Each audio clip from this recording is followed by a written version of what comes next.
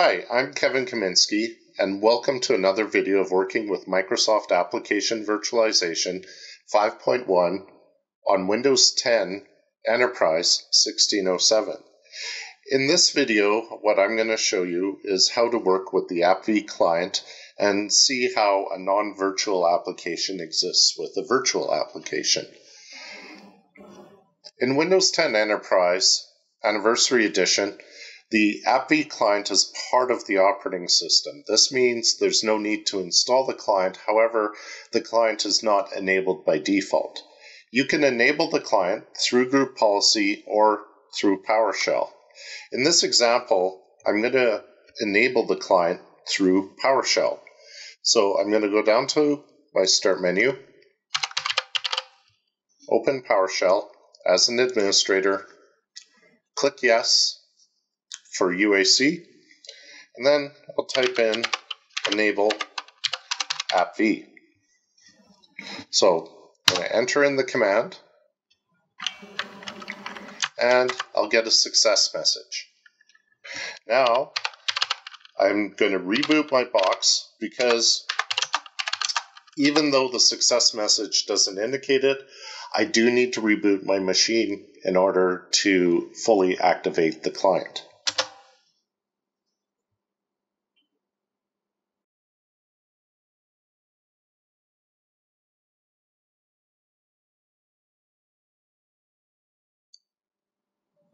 Now that I've rebooted my machine, I'll log in. And the AppV client should be enabled at this point.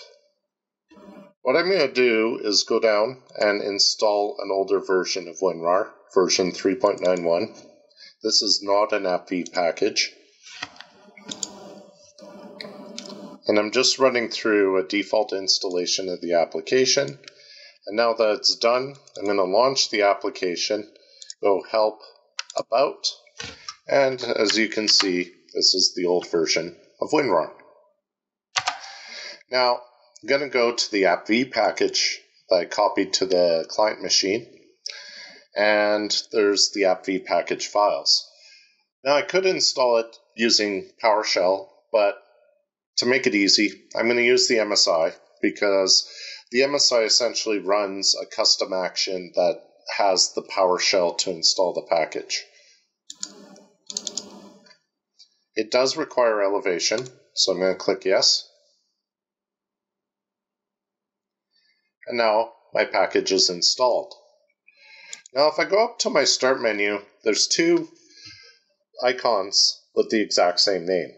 And this can happen if you're sequencing two packages that are the same application or one's virtual and one's not.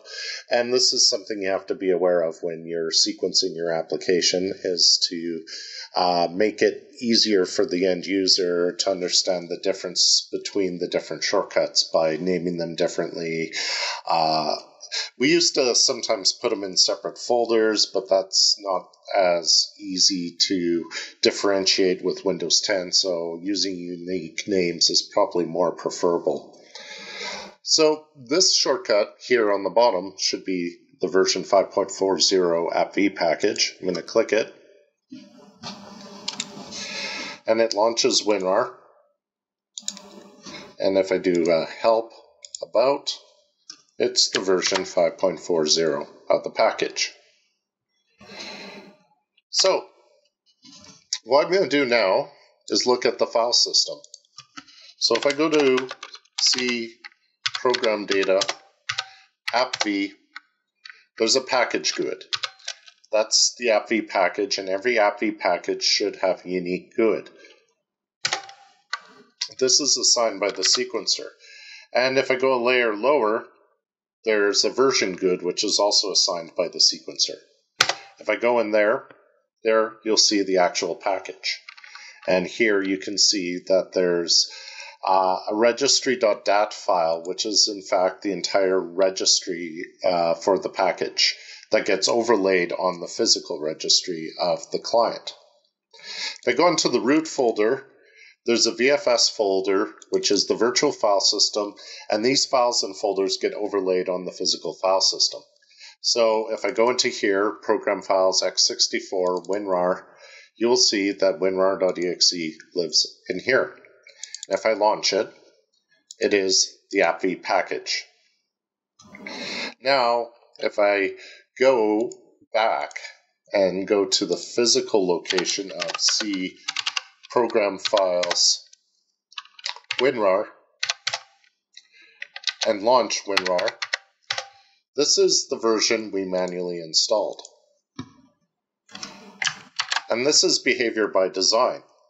Because the appv package is virtual, it's not seen at the physical layer in the same way that a physically installed application would be. And this is uh, gives us the ability to have both the physical and virtual package living side by side. Now, if I go into the registry, it's a very similar story. So uh, if I open regedit and I go to HKey classes root app v client packages, you should notice down here that there is in fact a package GUID, the same package GUID. So what I'm going to do is expand that out, go into the versions key, and there's the version GUID. If I expand that out and go into registry, user, I can expand this out and here is the current user registry items that are inside the package. This, again, is overlaid onto the physical client, but it isn't seen at the physical level. So this is the trick that appv does is, is it redirects calls from the virtual application to these redirected locations on the physical client, and this allows the virtual application to run. And this also allows the application to be separate from the physical install of the application, allowing you to prevent application conflicts because this application, WinRAR, isn't designed to have multiple versions running side by side, yet using AppV, I can very easily achieve that. So I hope you can see some of the value in using AppV and how the virtual application is installed on the client machine and operates on the client machine. In future videos, I hope to show you some tricks you can do with AppV to solve some of your day to day application issues. Thank you for watching, and I hope you've enjoyed today's episode. Look for more episodes on this YouTube channel later, and in the meantime, check out my Twitter feed at kkaminsk.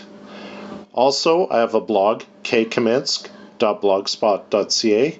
I'm also on LinkedIn under Kevin Kaminski or linkedin.com in K. And kkaminsk.wordpress.com.